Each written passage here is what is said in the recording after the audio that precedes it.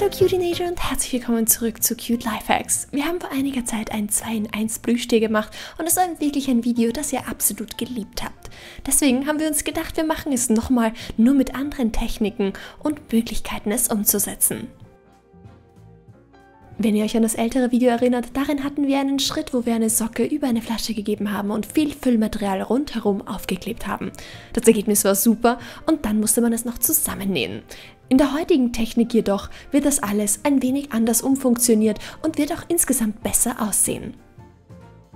In der Technik, die wir euch heute zeigen, zeigen wir auch, wie man Details wie beispielsweise Ohren oder andere Kleinigkeiten noch an Plüschtieren fixieren und verändern kann.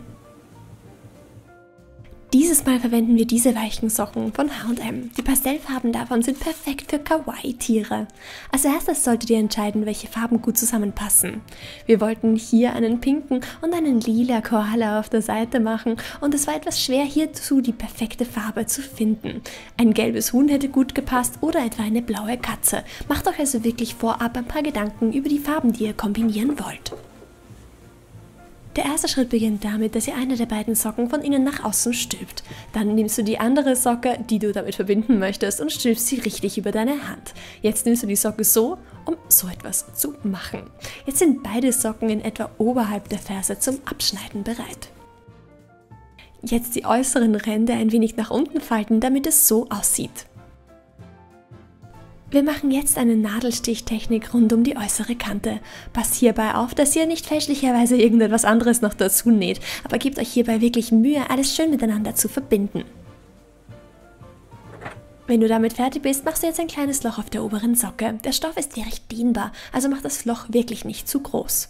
Jetzt das Plüschi einfach von innen nach außen drehen über dieses Loch, sodass wir jetzt die schöne Seite nach außen hin sehen.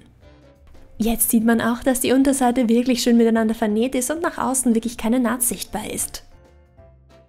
Der nächste Schritt ist jetzt ein wenig schwieriger, weil du die Socke füllen musst, aber darauf achten musst, dass es wirklich gleichmäßig verteilt ist. Es kann helfen, hier auch einfach immer wieder zu schauen, wie das Füllmaterial verteilt ist. Ihr seht jetzt ganz deutlich, wie wirklich nur eine Seite sehr, sehr viel Füllmaterial hat und die andere einfach gar nichts hat. Unser Ziel ist jetzt, dass eine dickere Schicht mit Füllung wirklich überall verteilt ist, sodass die Form quasi wie die eines Donuts ist. So kann man sie von innen nach außen stülpen und alles ist immer noch in etwa gleich groß. Es kann hier natürlich ein wenig dauern, bis alles schön gleichmäßig verteilt ist. Gebt euch also ruhig auch ein wenig Zeit dafür, damit es schön gleichmäßig ist. Jetzt müssen wir nur noch das Loch abdecken mit einem kleinen süßen Bauchelement. Weiße Socken wären dafür wirklich am allerbesten, aber wir haben jetzt nur dieses Rosa gefunden. Jetzt einfach die Größe grob angeben und in dem Fall ist es immer ganz gut, wenn ihr darauf achtet, dass alles symmetrisch ist. Deswegen immer gerne das Stoffelement falten und dann einfach so ausschneiden und im nächsten Schritt natürlich annähen. Symmetrie ist recht wichtig, wenn man Plüschtiere macht, also schaut immer, dass ihr verschiedene Techniken verwendet, um symmetrisch zu bleiben. Es empfiehlt sich hier in der Mitte zu beginnen, wenn man alles festnäht und dann einfach nach unten zu nähen. So kann man Falten besser glätten und so hat man unten auch noch eine Öffnung offen, um noch ein wenig Füllmaterial hineinzugeben. Am Schluss dann noch festnähen und schon ist der Bauch montiert. Als nächstes werden wir jetzt die Ohren machen. Das ist eine sehr experimentelle Technik. Wir werden die Koalen zunächst mal aufzeichnen und aussehen, wie es auf dem Plüschi am besten wirkt. Koala-Ohren haben bei Plüschtieren immer die unterschiedlichsten Formen. Deswegen kann man hier wirklich unterschiedliche Methoden recht schnell mit dem Papier probieren die Vorlage dann einfach ausschneiden und im nächsten Schritt diese Kartonvorlage verwenden, um sie auch auf dem Socken zu verteilen. Dann einfach die Linien festnähen und alles im nächsten Schritt vorsichtig ausschneiden. Die Ohren sollten in diesem Fall so schmal und zart wie möglich werden, denn schließlich wollen wir in diesem 2 in 1 Stofftier zweimal Ohren unterbekommen. Und umso weniger Stoff hier ist, umso einfacher funktioniert das alles vorsichtig ausgeschnitten, geht es jetzt wieder an unsere gleiche Technik, wo wir zunächst ein kleines Löchlein machen. Das werden wir hier entlang dieser Linie machen. Wenn wir es so machen, würden wir das Loch vermutlich zu groß. Deshalb wirklich entlang der Linie, wo man es auch festnäht, das Löchlein machen. Nehmt euch hier ruhig ein wenig Zeit, um einfach die perfekte Position für den Schnitt zu finden. Jetzt stülpen wir das Ganze von innen nach außen, um die wirklich schönen zusammengenähten Ohren zu sehen. Diese Ohren könnte man natürlich jetzt mit Füllmaterial füllen, um sie noch pluffiger zu machen, aber wir wollen wirklich, dass es so zart wie möglich ist, weil schließlich auf der anderen Seite ein Katzenplüschtier hinkommt, wo auch noch Ohren hinkommen sollten. Du kannst als Orientierung die Nähte von den Zehen in den Socken verwenden und die Ohren einfach daran orientieren. Das ist wirklich recht hilfreich, wenn man probiert, die Ohren an der richtigen Position festzunähen.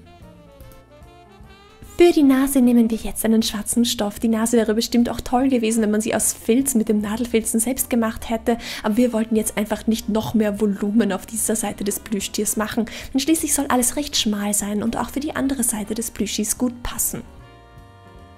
Wir verwenden jetzt Perlen für die Augen, weil die einfach einen tollen Texturkontrast haben.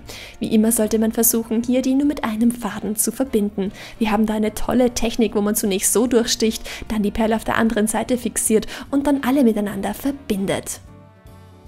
Sei hierbei aber vorsichtig, dass du nicht versehentlich in das andere Plüschtier auf der anderen Seite hineinnähst. Als Highlight kommt jetzt noch ein wenig Lidschatten auf die Backen des Plüschis.